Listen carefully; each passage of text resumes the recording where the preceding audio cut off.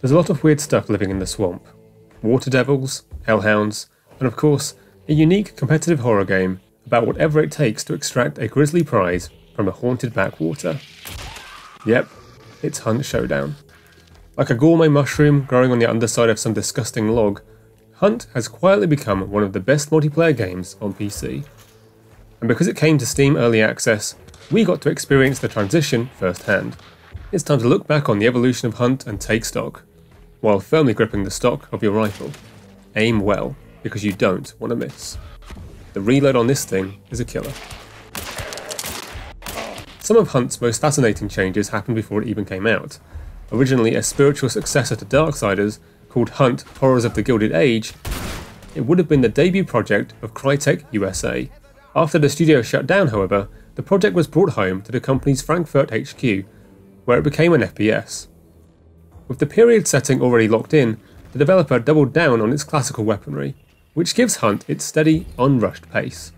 Patience is a virtue in this game, not to mention a survival tool. Hunt is sometimes referred to as a Bayou Royale, top marks for wordplay. And there is something to the comparison. Like PUBG, Hunt takes a large open world and pushes players gradually closer together, triggering high stakes encounters. It's a smart way to compress the best bits of DayZ into bite sized matches, whilst preserving the permadeath.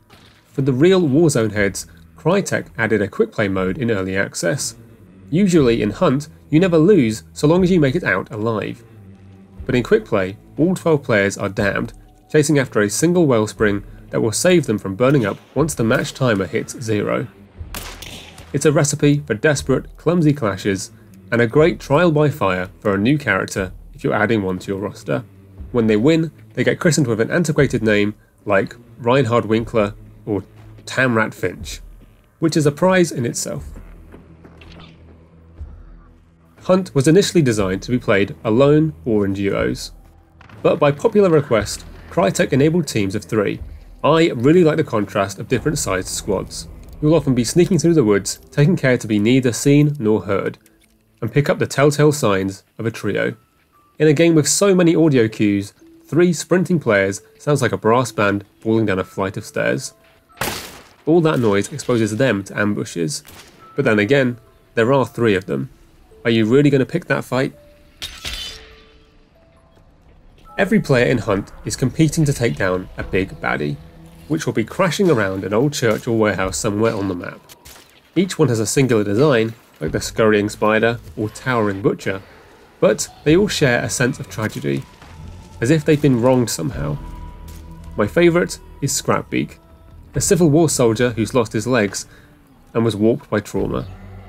He was introduced earlier this year and built to force players out of old habits. Like a magpie, Scrapbeak surrounds himself with gear like traps and ammo. Only by going on the offensive can you cause him to shred his supplies, then hoover them up during the fight. It's a neat reversal on the game's preparation phase, and also pretty creepy. Is it possible to get trenchfoot in Hunt Showdown? To be honest, none of my characters have lived long enough to find out, but it couldn't hurt for them to hit dry land once in a while, if only to bail out their boots. That's why it's exciting to see the game's next map, where the soil is apparently solid enough to carry a whole train without losing it in the quagmire. Sure, the bushfires might burn half your health bar away, leaving you vulnerable to one shots from zombies, but hey, look at the choo choo. There's something warm and reassuring about a once great developer finding its groove again. Back in the day, PC gamers subsided entirely on screenshots of the original Far Cry. And for years, Crysis was the de facto test to find out whether you'd built a new PC properly, or just spent months' pay on an expensive footrest. But Crytek went off the boil afterwards, as it struggled to balance commercial appeal with open world innovation. Thanks to Hunt Showdown, we can stop feeling bad about all that. Its success is a testament not just to the game's evolution, but to Crytek itself, there's a lot of Far Cry's stealth simulation in here, but applied in a way that uses players to create endless set pieces, rather than 15 hours of explosions. The result is the studio's best game ever, even if the screenshots do always come out a bit dark.